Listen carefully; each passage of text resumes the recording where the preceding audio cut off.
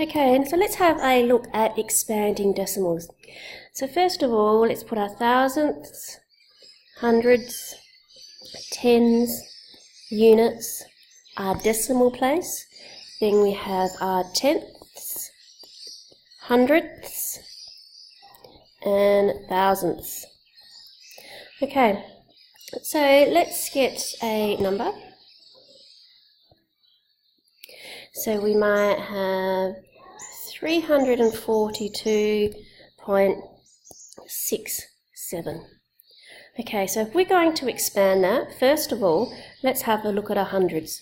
We have 300 plus 4 tenths, which is 40, plus 2 units, plus 6 tenths, plus 7 hundredths. Okay, now we've expanded it with the fractions. Now let's have a look at doing the same thing, this time using the decimals. Okay, so we have 300 plus 4 tenths, which is still 40, plus 2 units, plus here we've got no wholes, and in our tenths column we have 6 plus, now we're looking at the hundreds. So here, we're going to just focus on the 7. So we've got no here, none there, and 7. So it becomes 0.07. Okay, let's have a look at another example.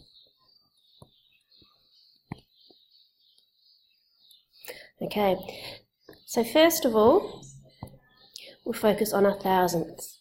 We've got 6,000 plus how many hundreds? 300 plus how many tens?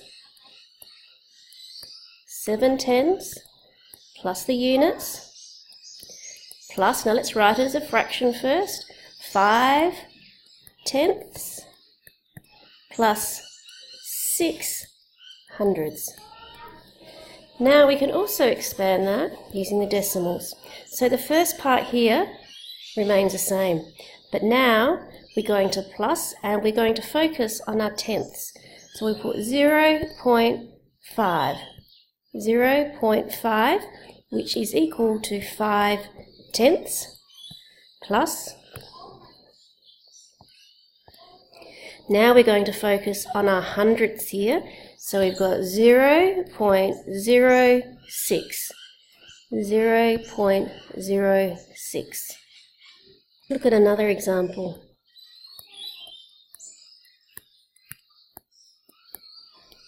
This time we're going to expand it just using the decimals without the fractions, okay? So let's have a look.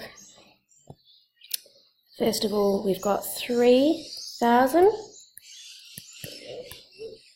plus 4 hundredths plus 6 tens